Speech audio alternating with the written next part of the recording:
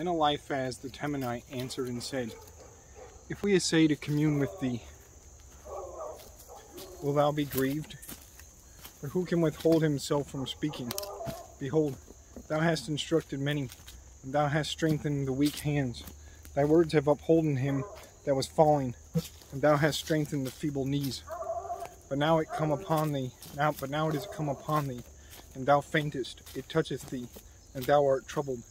Is not this thy fear, thy confidence, thy hope, and, thy, and the uprightness of thy ways?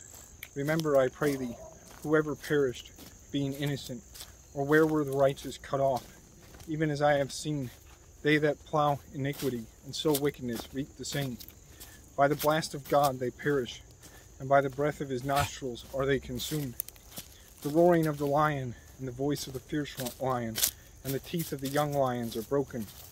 The old lion perisheth for lack of prey, and the stout lion's whelps are scattered abroad. Now a thing was secretly brought to me, and mine ear received a little thereof.